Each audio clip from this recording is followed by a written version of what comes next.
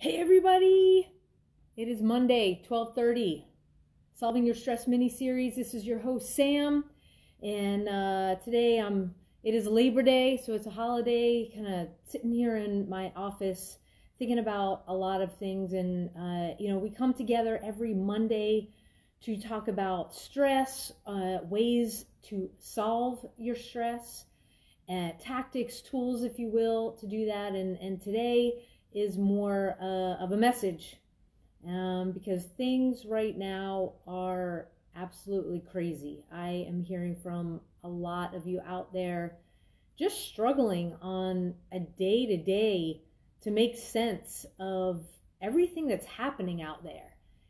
And when we can't make sense of it, when it's foreign to us, when we don't have the control that we want, it puts us in a state of constant stress. And uh, add on to that, we've got a big uh, memorial this Friday. Yes, this Friday is the 19th anniversary of September 11th. I hope wherever you are watching this from, that you take time to never forget. We lost um, over 3,000 people now, still dying from uh, September 11th related illnesses.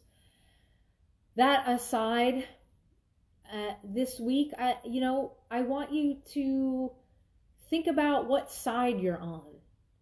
And I, I'm not, I don't want to make this political. This isn't about Republican side, Democratic side, left side, right side, whatever you want to call it. I want you to ask yourself this question Are you on the human side? Because I have seen behavior that I mean it is it's less than human. It is barbaric. People are not allowed to speak their minds. They're not allowed to express opinions. Frankly, they're not even allowed to write their own opinions with all the censorship going on. And what does that cause? That causes stress. So ask yourself, you know, what side are you on first? And if you're on the human side, I want you to do one thing. I want you to listen to your truth. Now, what do I mean by listen to your truth? When I, I've talked all over the United States about ways and to bring your stress levels down. And I talk about this with my audiences. It's the voice here, it's what lives in your heart. It, it's what, when you go to make a decision, it pings you and you know if you're making the right decision or if you're making a decision that may go against your value system. And if it's if it's a de- big decision and it's a decision where you feel a massive amount of stress or you feel sadness or your heart actually aches or you all of a sudden get a headache, your truth is speaking to you and look at that decision is it in alignment with your humanness, with your value system? We have got all kinds of folks crossing lines that I never thought I would see in my own communities here. Uh, feeling like it's okay to pick up bottles and bash people over the head and interrupt families and get violent with families with little kids right there, that it's okay. I mean, come on. That's not being human. That's not doing something good for all of humanity. And you have to know that your truth is pinging you because I'm pretty sure you know right from wrong. You know your value system.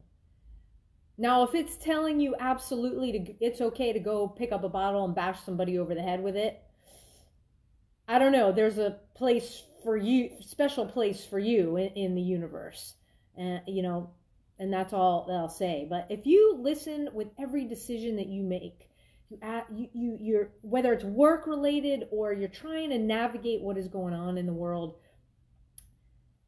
coming down to what you even want to post, put out there on the internet. You feel it here, and if it's pinging you in any way that's not positive you might want to take a step back and look at who you may be hurting. You may be hurting yourself and you don't even know it. You may be hurting your family. You may be hurting your, a friend. So I ask you, as a human being,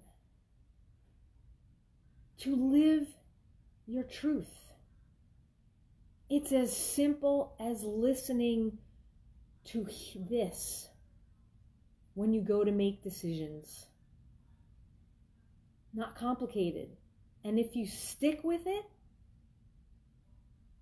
things will be a lot less stressful in your life. But maybe, just maybe, this will be a way where things can actually turn around and we can be civil to one another again. That's my message today. Stop falling into the trap of reaction and listen to your truth. And live as a human doing good on this earth. Till next time. Remember this Friday, September 11th. Never forget. Sam out.